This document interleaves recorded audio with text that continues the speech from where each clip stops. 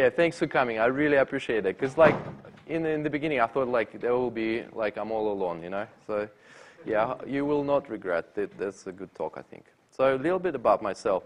So, I'm a specialist engineer in CBA, and um, I'm mainly doing research in areas like computer vision, machine learning, and other things. Um, so, what we do in, we've got a, like a foundation team that looks after frameworks, and there's a small part of it, like a team of two or three people, who is taking uh, current like mobile technologies or future mobile technologies and trying them uh, to see if they are applicable to digital banking. So what we're going to talk today about is um, deep learning. And, um, and deep learning, um, so we're going to see how changes in three main areas um, actually affect deep learning. So main areas are hardware, software, and people. People and the data behind.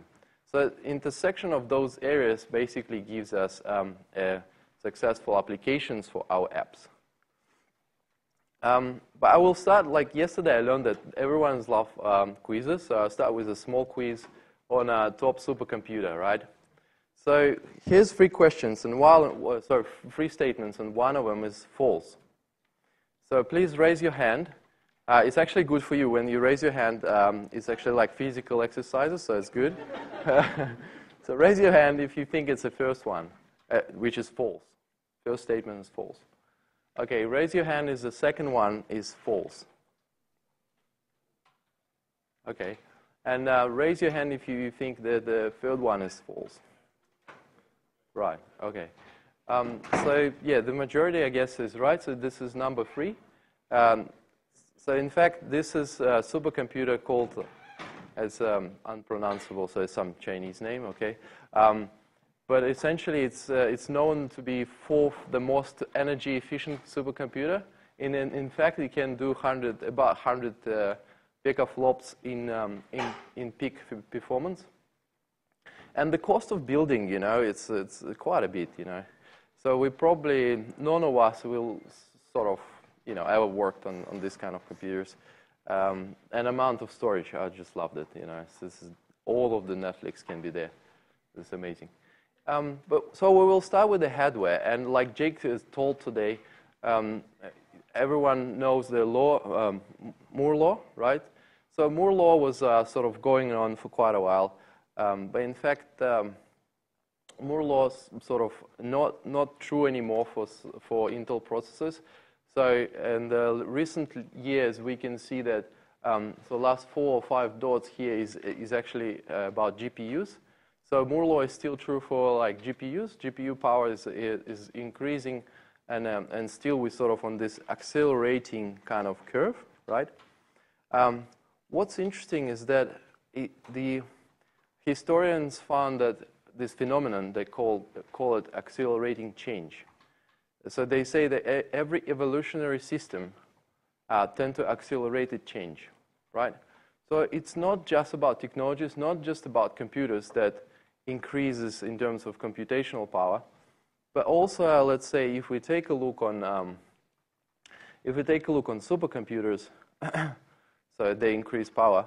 If we take a look on GPUs, they kind of on an exponential curve.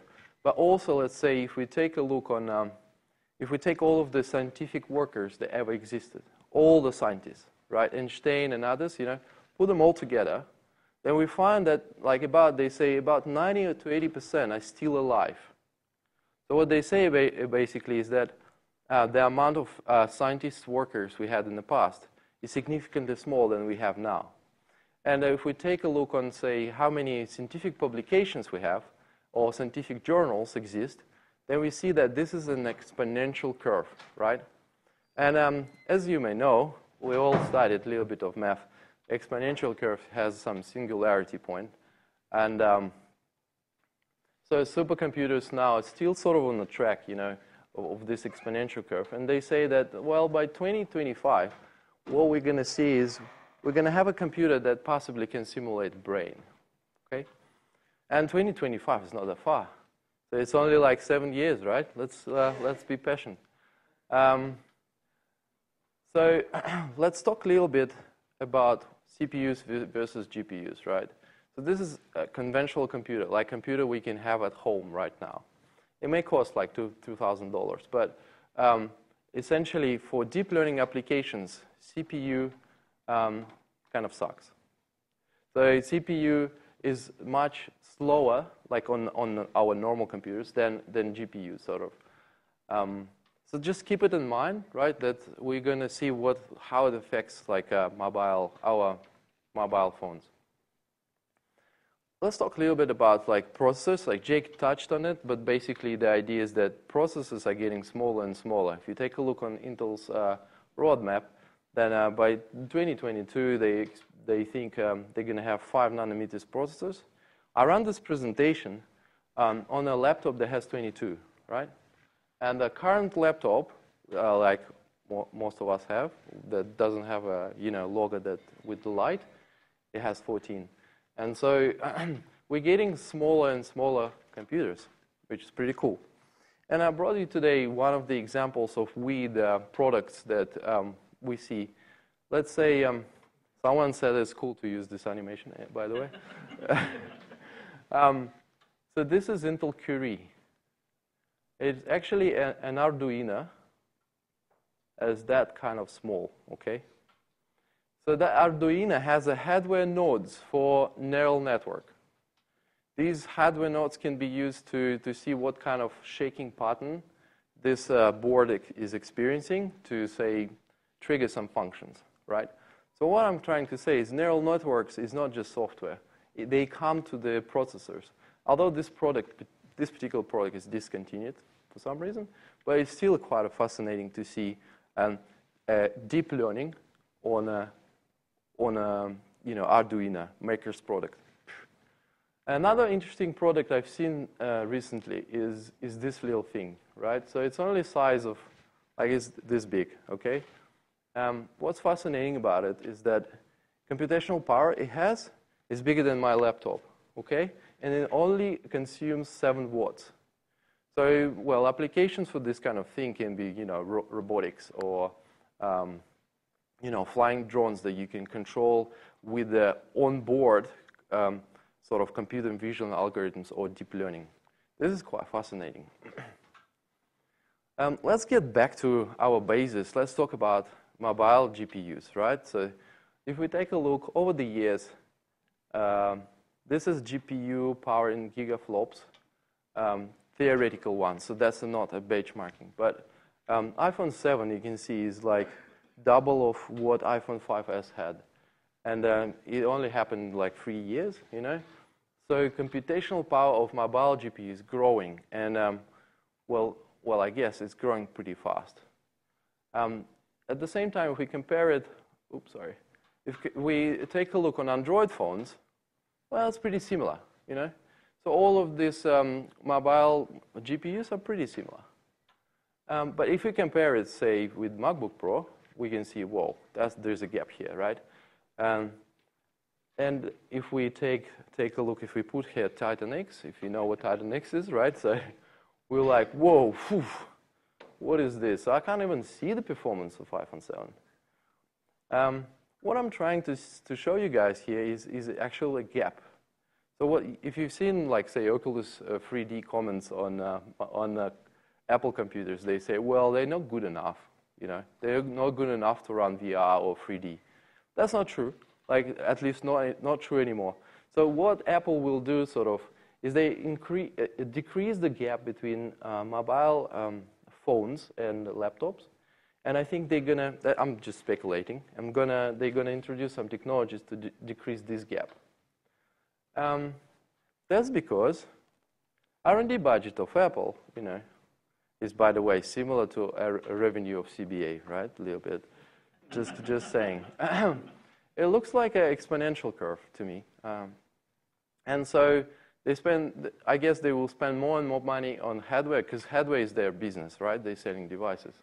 And so that's what we see this year is they, um, there's a press release of ImgTec. ImgTec is a provider, current provider of GPUs, mobile GPUs for Apple, um, so all the iPhone 7 you run, they, they've got their um, GPU. So they said, well, Apple is working on their own GPU, and they're breaking a contract with, um, with ImgTec. So in two years' time, roughly, we're gonna we're gonna see Apple releasing new mobile GPU, which might have you know I don't know some better and better computational power. And um, also, what we saw, like that was in April this year, we were sitting and looking at the press release of NVIDIA saying that, oh, yeah, we released the uh, Mac drivers uh, for Pascal um, uh, video cards. And we were like, but there is no laptops or iMacs who run NVIDIA, you know, not modern ones. Why would you do that?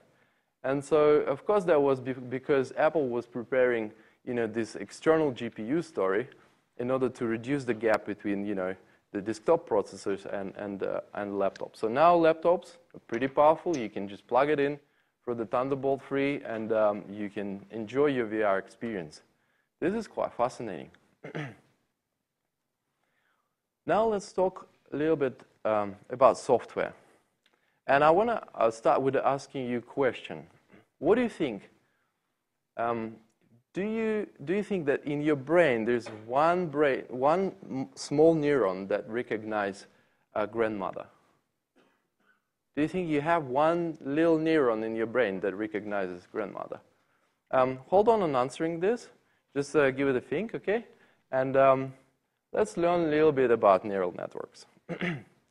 so in fact, neural networks have a, a history of, um, it will be 75 years of history in, uh, in next year. And so they, they were formalized during the war, and then there was perception, perceptron and perceptron machine invented. If you've never seen this before, so this size is, is um, comparable with the human size, right? So this, this, like maybe you know a little bit taller than a human, and so the guy would come or girl and uh, plug you know the wires here and here to sort of connect neurons, and then he, he would use like a screwdriver to adjust the weights of this neuron in order to teach, teach it to do something. So it was extremely slow, extremely manual, and an absolutely terrible process of, of teaching this perceptron network to do something. Um, and after that, there was some guy, Minsky, proved that, well, perceptron by itself cannot do XOR function. Can you believe it, right? A neuron cannot do XOR function. That was terrible. Everyone was, um, you know, everyone abandoned the idea of neural networks and simulations, and um, that, that phenomenon afterwards was called AI winter. So no one would uh, do anything with that technology. And so three years later, some guy um, actually proved that layers of network of perceptron can actually simulate XOR function and can do it pretty well. Um, but sort of that was unnoticed. And um, backpropagation algorithm later on. And then they start thinking about parallel computing, maybe several cores and stuff. And um, that was a tipping point, 1992, when um, they did this neural rewiring experiment, which I will take you through today. Um, very important experiment um, that was, was done in MIT. And um, the first neural net, uh, convolutional neural network appeared in 1998. And then well, 2015 was the year when convolutional neural networks performed tasks on uh, image recognition better than humans. And um, I'm super excited that this year, convolutional neural networks came to iPhone 7 in a very convenient way. I will talk about this later. So um, as I'm speaking to you guys now, what happens is your ear is transferring the signal or vibration of the sound into this center of your brain. And this center then, it's called auditory cortex, then decodes this information, and um, that's how you understand what I'm speaking about. so what they did in uh, MIT is they decided to sort of check the hypothetical idea that our brain actually has only one learning algorithm inside. So no matter what you do, you're trying to see, you're trying to touch, or you're trying to hear, this is all the same one learning algorithm in our brain, and that's how it works. Um, so what they did is they took ferrets, they would cut this wire that goes from your ear, from not your, but ferret's ear, to the center of the brain, and then they would plug there, or like rewire, um, the, the, the neurons that go from the eyes of ferrets. And with time, maybe like several days, or months, those ferrets who were like conducted surgery on, they would um, start to see again. And they would conduct the discriminatory, like image discriminatory tasks on them. And those tasks would show us that sort of um, ferrets can see on the same level as they would, would, would be able to see before.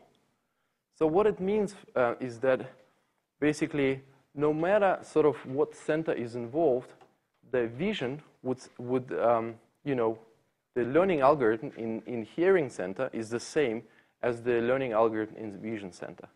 So that's how they sort of try to prove that, um, that we've got only one learning algorithm in our brain. And um, later on, they, they started thinking how, like, how to do this uh, with images. And so what they end up doing is, this is fully connected layers, but um, is just a demonstration, you know. So roughly, convolutional neural network, what it does is it just takes the patches and um, with the really small features on them, and then by conducting different, like, sort of, by um, by multiplying the, the, the, several like patches types, we can get uh, more sophisticated features. And so more sophisticated features form like even more sophisticated. And then in the end, we can see like, um, you know, our neural network have a brain that sort of recognize particular faces.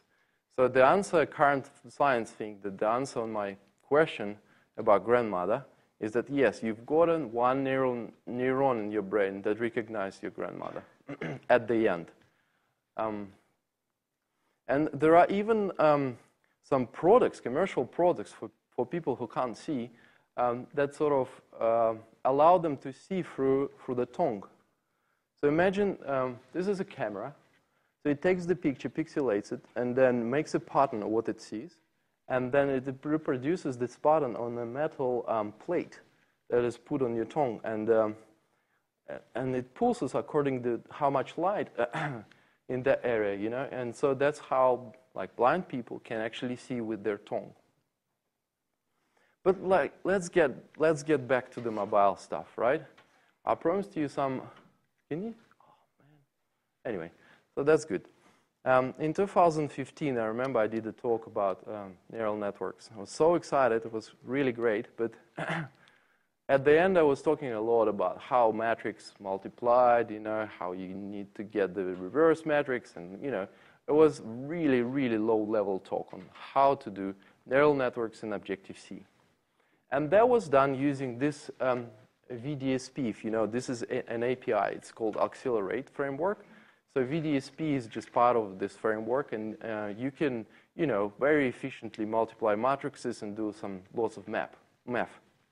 But uh, with time, you, you can see that iOS introduces more and more convenient ways of doing math, which was great, up until iOS 10, when they actually introduced some routines inside the API that um, simplify, simplify our work with the neural networks. And so there are specific routines that you can use for basic um, neural networks. So there are layers, you know, so it's much more easier.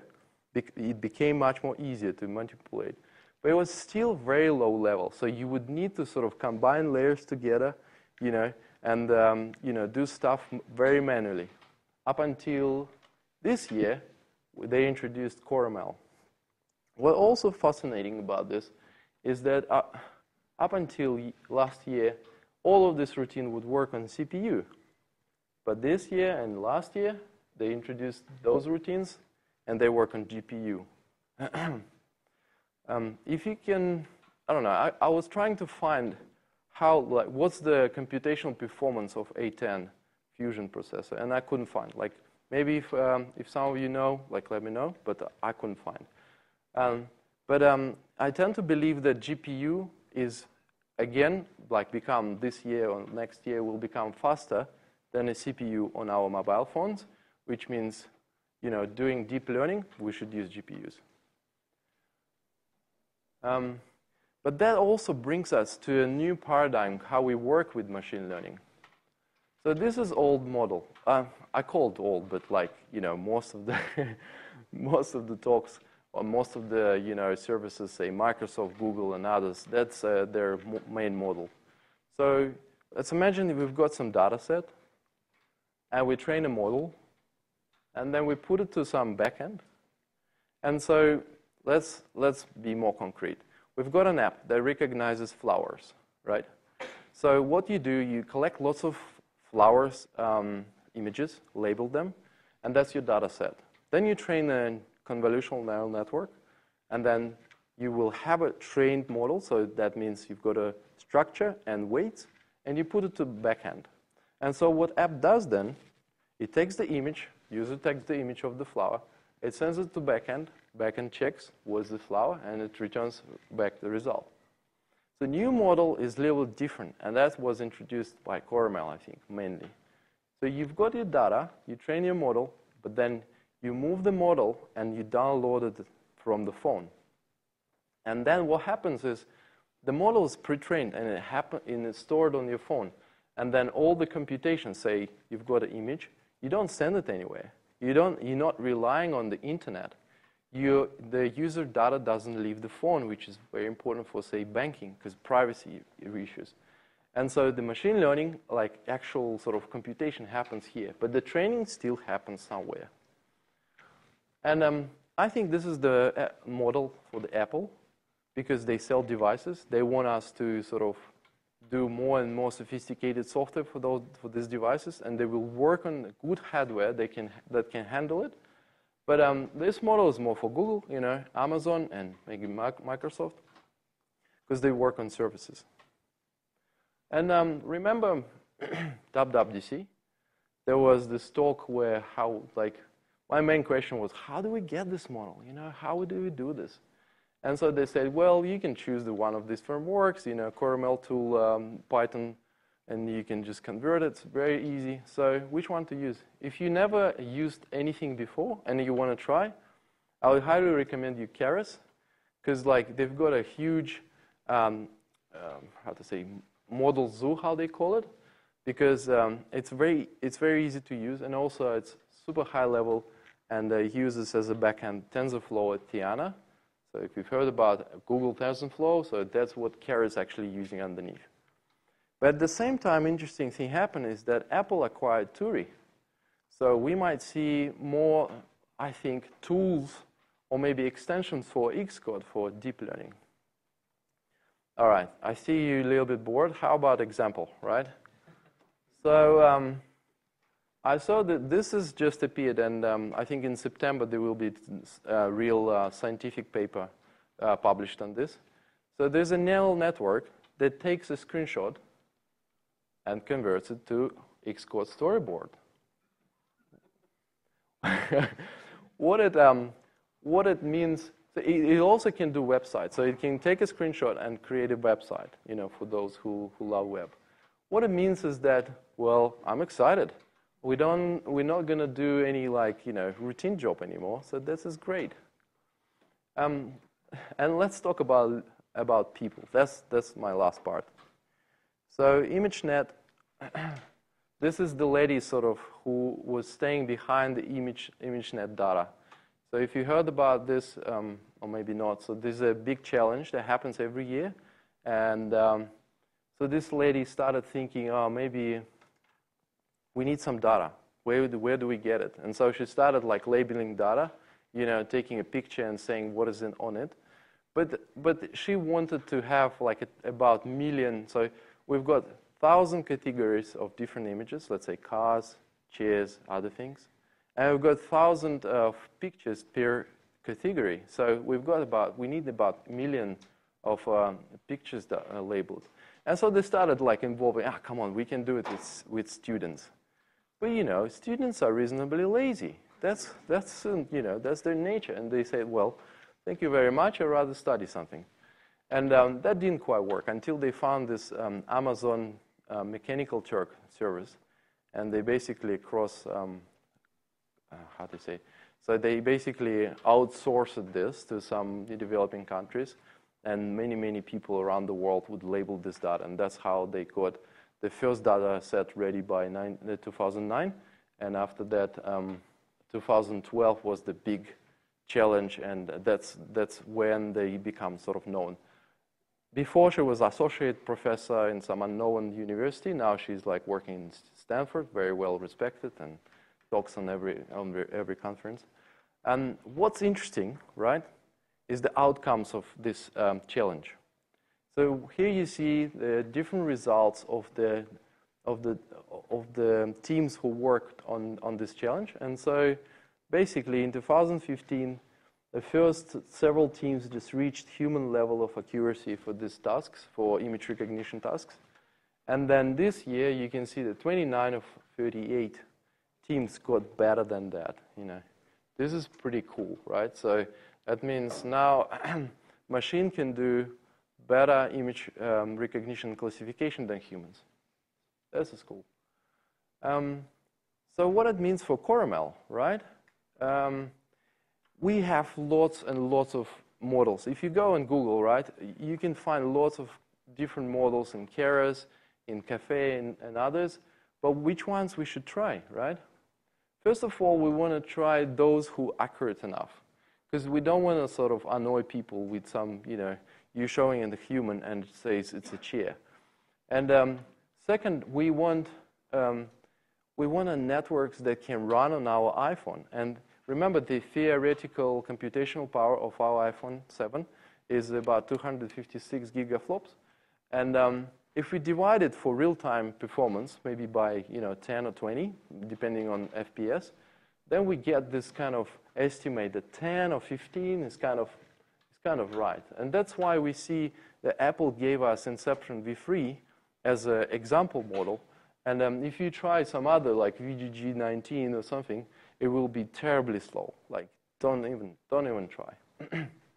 so that's, that gives us a sense how we should choose the models to run on, uh, on our iPhone. Um, just a little story on AlphaGo. Have you heard about um, uh, Deep Blue, the computer that was playing chess against Kasparov? Yeah? Um, there, was a, there was a big um, you know, media coverage and stuff but then uh, when Kasparov asked to rematch, and they said, no, no, no, we don't want a rematch. And they, they also refused uh, to give him logs. This story is completely opposite. So AlphaGo is a Google DeepMind. It's a computer can play Go. And, you know, it was playing like against really, you know, not experienced players. And then in 2016, played against really high-level player and win. And then um, in uh, this year it, it would play against number one player and uh, again win. And so they also optimized the algorithm. So initially it would run on massive like cluster of computers, while the last one was running on just one single machine. And um, Chinese Association of Go even gave them, um, you know, um, nine dan professional player rank for this algorithm. You know, like this is quite fascinating. Um, if you want to see how TPU like V2 looks, this is this one block here. It's just like how much does it take to run this algorithm. And what, it, what they also did is that they give to community games that AlphaGo did against itself. They, they gave them like 50 games to study, and uh, some of these games uh, considered really good. Like, um, so these were, were uh, an examples of like how machines can do tasks. But they, they all are very like, you know, special tasks that machine can do. It's not like general intelligence. It's still very sp special intelligence. So what are the drivers of uh, deep learning? Well, competition, open competitions, and open source. Like uh, today there was a really great talk on open source, but if you take a look on, so, on um, contestants or participants of the challenge, you see that most of them, 90% of them, are open source and willing to disclose the method of how they're doing it. And um, it's funny, but 3D games as well. Like the, the, the, sort of the more demand for 3D games, the more GPU will be more powerful, and that drives it uh, drives it through. And so even Apple now followed this open source model, and if you've never seen it, there's now a blog from Apple, who is really secret company, never did it before, they now share with us their machine learning uh, insights, which is pretty cool. So yeah, and the, the main trends are like teamwork. So it's always like a we're building on each other knowledge, and um, they found a bigger, bigger models giving better accuracy, but that doesn't help us mobile developers because we can't run these big, bigger models. End-to-end deep learning is one of the main trends, I would say. If you want to have a see like how YOLO works, I have an iPhone. I don't, I don't want to demonstrate it like wide, but I have an iPhone. Come and see me. I'll show you how it works. And um, basically, CNN and RNN work, uh, networks are production. So they say, well, there's no doubt they work. They work really well, sometimes better than humans. But the reinforcement learning is something that to come. And they still think about applications. Um, and of course, all of this generates questions about the culture. Like I've got my friend, um, when he see me, you know, I, I, did the compiler for BrainFuck. It, it's, a, it's a language, okay? So it's a compiler. And then I, I tried to sort of make a program for this language using um, algorithms. And he said, well, what are you doing? Ooh, stop it, stop it. This is, you building a Skynet, you know? well, essentially, I guess the less you know about one particular technology, the more you're scared, the more certain uncertainty it generates, and the more you're scared about it, you know? So these are main questions like, say, um, in Silicon Valley, they, they're talking about chatbots a lot, and they say, well, if someone's chatting to chatbot, and chatbot says to you, uh, so you say to chatbot, well, I want to kill myself, and chatbot says, yeah, go on. And then you kill yourself, right? What happens? Who is responsible? Like these kind of questions are really like um, in the air. Um, but if, if we take a look on sort of our, our improvements over the time with these models, we see that yes, we over, overdone the human level, but really it's not that much. Like we can't really ever do it like on um, like thousand times. It's, it's normally like about 5%, 3% at the moment. And so you know these guys, right? And have you seen the conversation between them recently? So what I think they're doing is like um, they engineering the association. So they want us to have this little neuron that once it hears like AI, it would associate it with uh, it would be associated with uh, Elon Musk or Mark. And so Mark was really like you know we are summoning demons and stuff. Um, but let's see what the actual scientific uh, guy thinks about. This is Andrew Ng. He used to be um, Baidu um, sort of head of science. So he used to have a team of uh, 1,300 people, you know, working on AI projects every day. And he says, well, worrying about this um, rise of, you know, evil, evil robots is like worrying about overpopulation on Mars before stepping on it, because we're really not there. and um, have you seen, so OpenAI is a, is a project that is supported by Elon Musk. Have you seen their recent uh, updates on um, how they made a, a, bot for Dota 2? So this is an event that uh, was held two weeks ago. It's much more bigger than WWDC. You know, WWDC is 5,000 people. Here there was like 20,000 people get together, you know, just to watch how the the best teams in Dota 2 playing against each other. And so they run the board, uh, one bit with one, and the board was like, you know, winning in a row every like single player. So, so that was pretty fascinating. I was like, yes.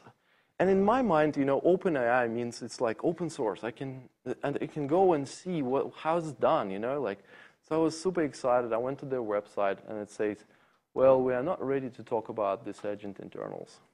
No. So, um, and it looks like OpenAI is specifically doing same thing as Deep, DeepMind, and it's like, you know, private uh, enterprise. Um, so there's no really big difference between them, you know. what we can be scared about, I would say, five minutes, yeah, thanks, is um, about quantum supremacy.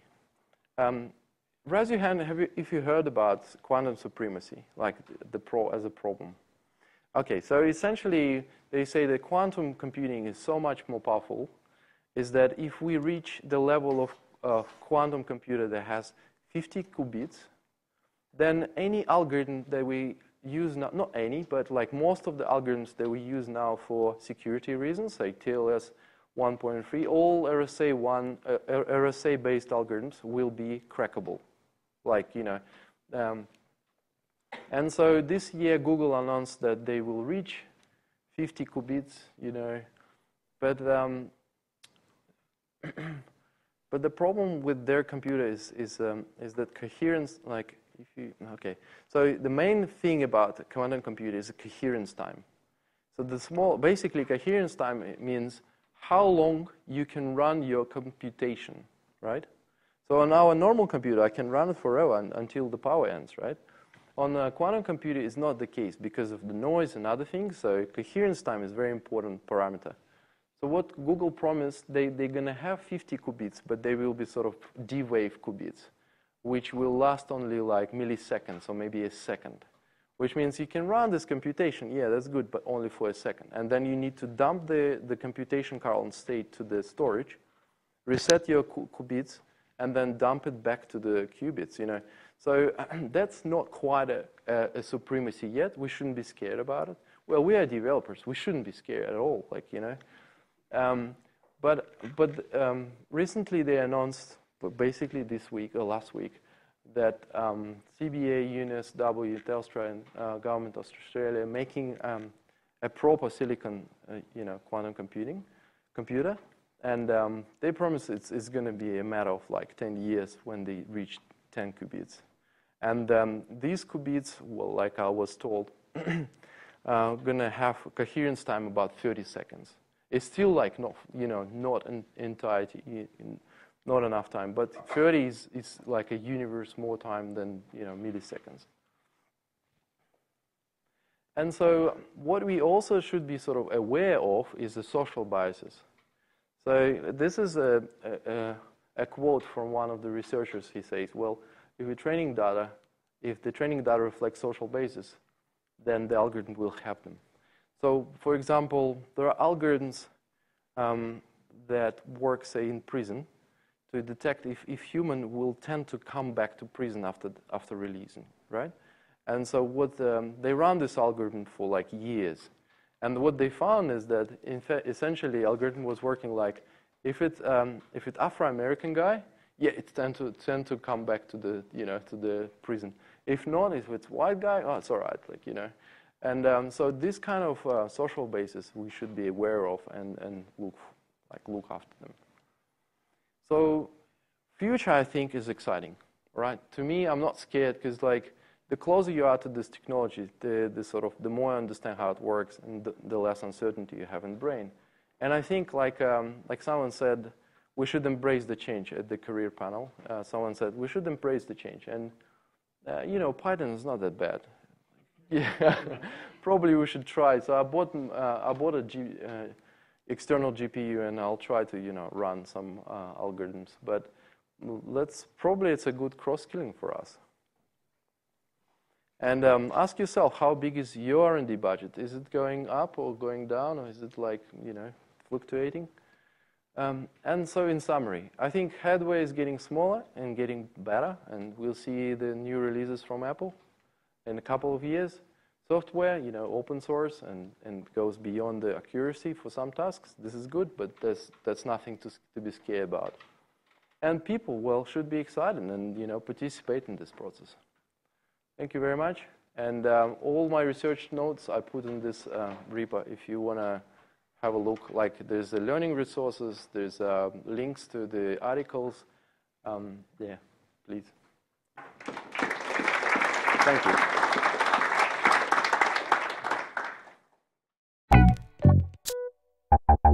you.